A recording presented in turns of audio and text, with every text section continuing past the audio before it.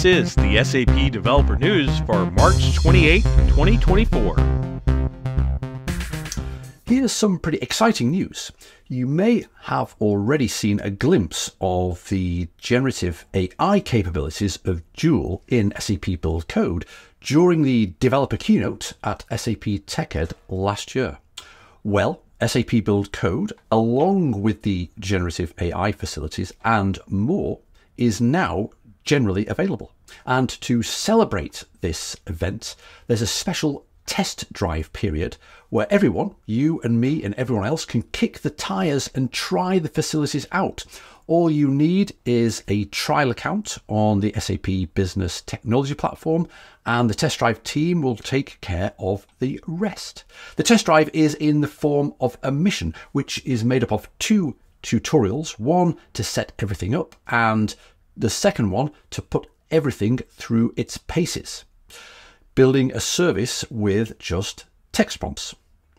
Be aware, this test drive is only available for a limited time, for a month basically, and the test drive period ends on Friday, the 26th of April. So, what are you waiting for? Head over to the tutorial navigator and get started. This week, the new first release of SAP HANA Cloud in 2024 went live. Let's have a look at the key features and highlights of this Q1 release. Let's start with the introduction of the vector engine. With this new engine, you can seamlessly store and query vector embeddings alongside your business data. In the world of generative AI-driven business use cases, the SAP HANA Vector Engine will serve as an essential foundation for empowering large language models. By the way, I am in the event here right now in Wrocław, where exactly these topics are being discussed. You can integrate vector use cases into your solutions using diverse tools like the HANA ML Client, SAP CAP, or the popular open source LangChain framework. For the last, I would suggest checking the blog post by Martin Kolb, which guides you through six easy steps showing how to build a chat-based application using RAG or retrieval augmented generation techniques together with HANA Vector Engine in LangChain. Obviously, Vector Engine is not the only new feature in the Q1 release of SAP HANA Cloud. So let me mention a few here, but I encourage you to check the complete list in the blog post written by Thomas Hammer. This release allows the creation of remote sources to an ABAP system utilizing the latest advancements in the ABAP programming language release 2108 or later through SAP HANA Smart Data Access by facilitating access to the ABAP SQL service endpoint rather than directly interacting with the underlying SAP HANA of the ABAP system. The release of the new sub-account level APIs introduces support for mapping database instances to Cloud Foundry spaces or Kyma namespaces. As well, SAP HANA Cloud now supports the automation of database provisioning, configuration, and lifecycle management through Terraform. Several new calculation view features have been released in SAP Business Application Studio when connected to SAP HANA Cloud Database QRC1. For example, calculation views can be opened in read-only mode, this avoids unintended changes being tracked in Git due to the frequently used autosave option. With the QRC1 release of SAP HANA Cloud, we have also updated the product's public roadmap. If you are curious about what's currently planned for the next quarters, take a look at the interactive Roadmap Explorer.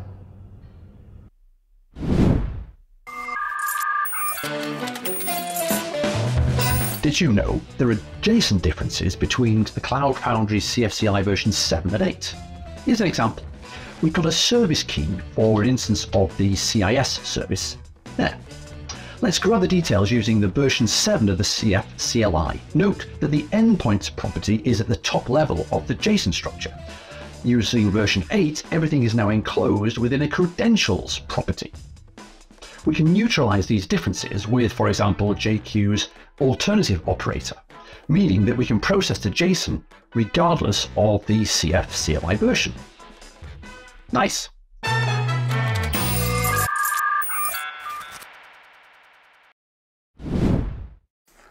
With the newly added enhancements for SAP Business Application Studio, we will get some cool new features a streamlined storyboard to easily view and work on service actions and functions for your applications got introduced. And in addition, a brand new welcome page for SAP HANA applications is available now.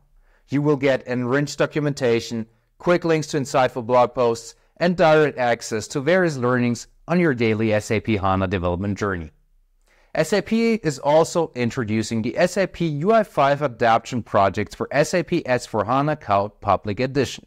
With an adaptation project, you will be able to adapt and extend your original UI5 application without touching the original app code.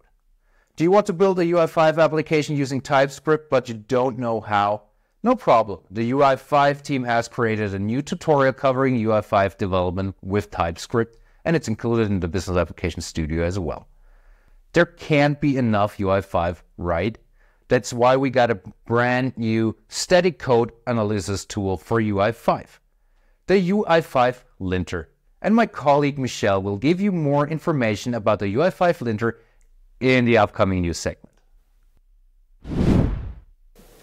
Today, I bring big news about a very helpful new tool released by the UI5 team, the UI5 linter. This, like all linters, helps developers follow best practices and deliver more consistent readable code. In particular, the UI5 linter follows the established best practices for UI5 developers, checking JavaScript, XML, JSON, and other files in UI5 projects. This will also be helpful for bringing projects and apps up to version 2 of UI5. A blog post giving more details on linters and the new UI5 linter, along with install and usage instructions, are linked below. I hope you'll find as much use out of this tool as I will. Happy coding! Hi, fellow builders. This week I wanted to bring to your attention a significant and recently released feature, which is mobile authentication.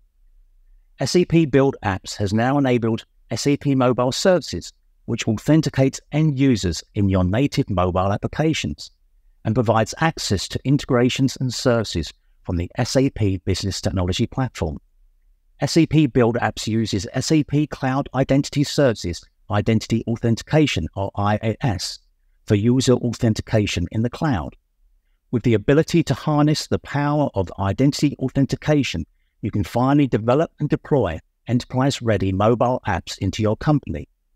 So now you can reuse destinations of backend systems, which are also used for web, web applications and many other BTP services. After configuring mobile authentication in your BTP cockpit on your build settings for SAP Build Apps, you can build your mobile apps with authentication services enabled.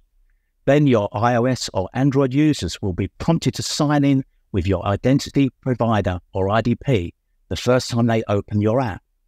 The session will remain active until the app's cache is cleared or the session is revoked manually. To find out more about getting started with mobile authentication and identity authentication, check out the blog post in the show notes.